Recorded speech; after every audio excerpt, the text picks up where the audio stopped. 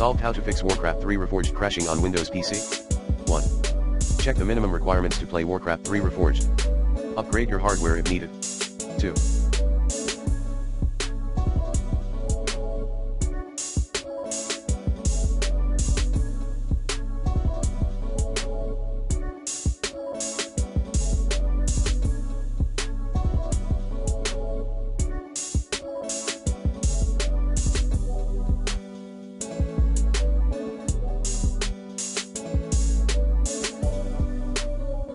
Update your graphics driver using the recommended Avast driver updater in this video guide. 3. Set high priority for Warcraft 3 Reforged application, Warcraft 3. EXE. Like this. 4.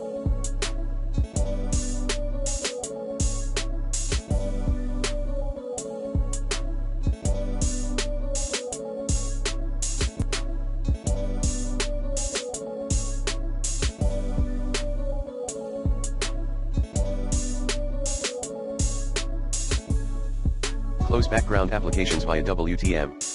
5. Stop overclocking. 6. Lower the graphics settings. See details below.